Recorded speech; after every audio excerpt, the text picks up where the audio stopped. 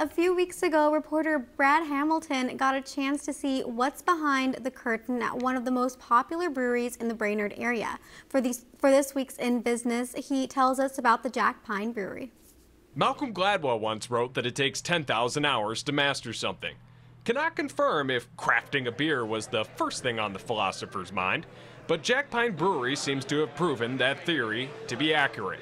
I personally have been homebrewing uh, for about 20 years, um, so you know, 13 years before I started Jack Pine, I was dabbling at home, in the garage, in the kitchen, uh, with different brewing recipes. But for those of us that haven't been crafting brewskis in our basement over the last two decades, Sundberg breaks down the distinction between a commercial beer and a craft one. Craft beer really has a ton of flavor compared to your mass market lagers.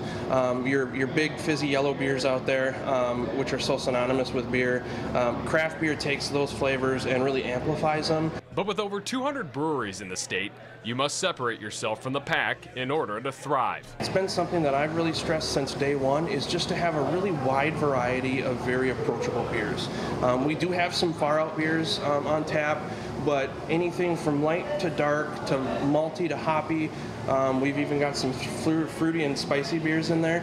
Um, we, we generally have anything. If you if you have even an inclination about beer, um, you can find something that you like here at Jack Pine. And one of the main members helping you find that perfect brew is Mary Bauman, whose consistent presence has been a difference maker since the company's inception. It's great beer and a great atmosphere, and they appreciate that every time they come here, it's going to taste the same.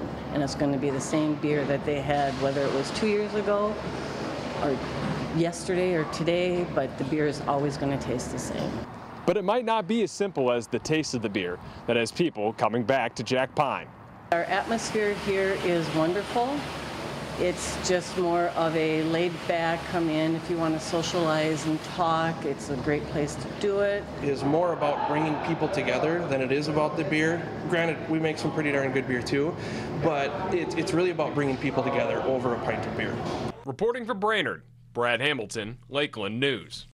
Lakeland News is member supported content. Please consider supporting Lakeland News today.